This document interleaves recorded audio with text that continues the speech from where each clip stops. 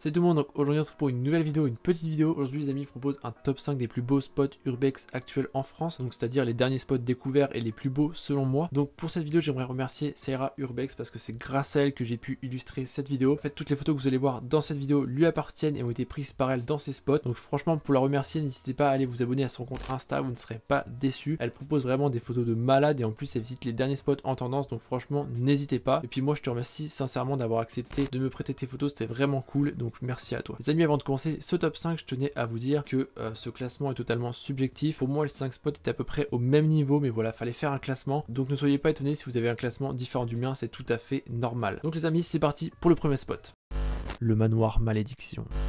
Bon les amis on se trouve avec le premier spot donc le manoir maudit. Donc je sais pas pourquoi il a été appelé comme ça j'en ai vraiment aucune idée. C'est vraiment un spot très récent et j'en ai je n'ai aucune information dessus. Euh, pour les prochains spots de ce classement je pourrais vous donner un peu plus d'infos mais c'est vrai que celui-là je ne sais pas pourquoi il a été appelé comme ça. Là je vous fais défiler les photos. Vous pouvez voir qu'il est vraiment exceptionnel hein. on peut voir que tout le mobilier est resté à l'intérieur est resté sur place. Rien n'a bougé tout est à sa place c'est vraiment exceptionnel. J'adore vraiment ce genre de spot. Petite particularité c'est que lui par rapport à d'autres spots que vous allez pouvoir avoir dans ce classement euh, qui sont vraiment très clean lui on peut voir que la végétation a commencé à un peu gratter euh, le manoir si on peut ça comme ça on peut voir que dans la cuisine et le salon, les portes-fenêtres sont ouvertes et du coup la végétation, l'humidité a commencé à un peu gratter. Donc je trouve ça fait vraiment un effet stylé, un effet, vraiment abandonné, mélangé avec le mobilier. Je trouve ça vraiment stylé. Donc vous voyez qu'on peut commencer avec du très très lourd dans ce classement. Donc ça promet pour la suite. Vous allez voir, vous n'êtes pas prêt, je pense. Vous n'êtes vraiment pas prêt du tout. Donc euh, voilà, pour ce premier spot qui été vraiment exceptionnel. Et on passe maintenant au deuxième spot. Le château Barnet.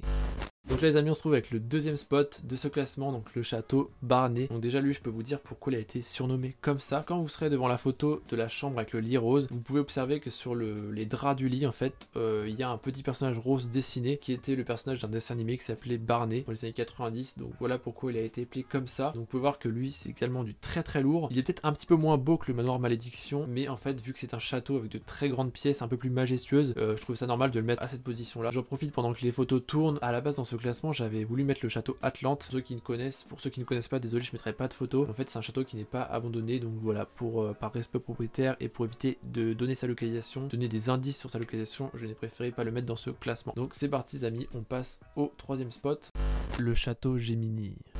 Donc pour ce troisième spot, les amis, on se trouve avec le château Gemini. Donc là, vous pouvez voir qu'on arrive vraiment à un cran exceptionnel, vraiment un château magnifique. Surtout avec le, avec la pièce au double piano. Donc c'est vraiment, j'ai jamais vu ça, c'est vraiment exceptionnel. Je sais pas pourquoi il y avait deux pianos, peut-être pour faire des espèces de duo, sûrement d'ailleurs. Quoi d'autre à dire sur ce château à part euh, bah, qu'il est propre, tout est à sa place, et rien n'a bougé, qui est vraiment cool. Il n'a pas tourné, il est très récent, ce qui est normal, et j'espère qu'il le restera. Voilà les amis, petit aparté pendant que les photos tournent, euh, comme vous pouvez le voir, on, est actuellement en période de, confinement, et du coup, vous le savez bien, je peux pas faire d'urbex, pourtant j'en avais un de, très cool euh, de prévu, mais c'est pas grave, je le ferai plus tard. Et du coup, voilà, pour essayer de vous proposer quand même euh, des vidéos pendant cette période-là, je me suis dit pourquoi pas faire un top 5 des plus beaux spots urbex, comme ça vous, vous découvrez en même temps que moi, ça peut faire une espèce d'exploration fictive, même si c'est que des photos, mais voilà, on explore et je vous fais découvrir des nouveaux spots, même si on le fait pas en vrai, ça peut vraiment être cool et je trouvais ça, je trouvais que c'était une bonne idée. Donc en tout cas, n'hésitez pas à me dire en commentaire ce que vous en pensez donc voilà, on passe au quatrième spot les amis.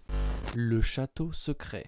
Donc là les amis on se trouve avec l'avant-dernier spot, donc le deuxième spot le plus beau selon moi. Donc déjà j'ai un peu plus d'infos à vous dire par rapport à son nom. En fait le château secret, euh, je connais son, son découvreur, non. On va dire que je connais l'explorateur qui l'a découvert. Donc petite dédicace à toi et Expansion d'ailleurs. Et justement je lui avais demandé euh, à l'époque quand il l'a découvert pourquoi il l'avait appelé château secret. Et en fait il m'avait dit qu'il n'y avait aucune raison. Donc il l'avait appelé comme ça, voilà, pour, euh, pour lui donner un nom. Et c'est le nom qu'il a aujourd'hui et c'est sous ce nom qu'il est connu. Malheureusement comme vous pouvez voir ce château est vraiment très beau, mais il a été euh, saccagé il y a peu de temps, voilà. Euh, si je me trompe pas, je crois qu'il y a des explorateurs qui ont fait le ménage dedans, donc ça c'est cool, merci de leur part d'ailleurs. Mais euh, c'est vrai qu'il a, ça devait arriver, il arrêtait pas de tourner ce château en ce moment et il, a, il fallait que ça arrive. Hein. Enfin, fallait pas que ça arrive, mais on s'y attendait. Il est tombé entre de mauvaises mains et des gens sont venus tout péter. il a été repris d'ailleurs, je crois, mais je crois que les visites continuent, donc j'espère qu'il sera pas plus dégradé que ça et qu'il restera dans un état comme ça. Voilà, voilà, pour ce quatrième spot, on passe tout premier spot et les amis, vous êtes pas prêts.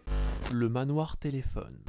Donc les amis, pour cette première position, on se retrouve avec le manoir téléphone. Donc vous allez voir que c'est un lieu franchement magnifique. Je le trouve vraiment très très clean. Donc je pense que vous allez vous demander pourquoi je l'ai mis en première position. Parce que c'est vrai que j'aurais pu mettre le château secret ou le château Gemini par exemple. En fait, à la différence avec les autres spots, c'est que je le trouvais vraiment très très clean. Les objets sont à leur place. Vraiment rien n'a bougé. Et en fait, je crois même que c'est l'ambiance qu'elle donne, ce que, que, donne ce manoir, qui m'a donné envie de le mettre en première position. Que c'est vrai que même les autres spots, hein, rien n'avait bougé, tout était à sa place. Mais mais celui-là, l'ambiance qu'il y a, c'est vraiment exceptionnel. Quand on peut voir la chambre avec le papier peint et les bougies, l'ambiance de couleur que ça fait, franchement, j'ai adoré. Et puis la, teinte que, donnent les pièces principales avec la lumière, j'ai vraiment été touché par ce spot. Et voilà pourquoi je l'ai mis en première position. Euh, en plus, c'est un spot très très récent, peu de personnes le connaissent. Ce genre de spot là ne tournera pas. Il reste vraiment dans de, dans de petites communautés OBX, on va dire, et c'est vraiment cool. Donc voilà les amis, pour ce premier spot, pour ce top 5, en tout cas j'espère que ça vous aura plu. N'hésitez pas à lâcher votre gros pouce bleu en bas de cette vidéo, à me dire en commentaire ce que vous avez pensé de ce top 5 là. Si vous auriez mis d'autres spots dans ce classement, n'hésitez pas à me dire tout ça en commentaire. Puis moi en tout cas c'était un plaisir de vous tourner cette vidéo. Et puis moi je vous laisse sur ce les gens. Tchuss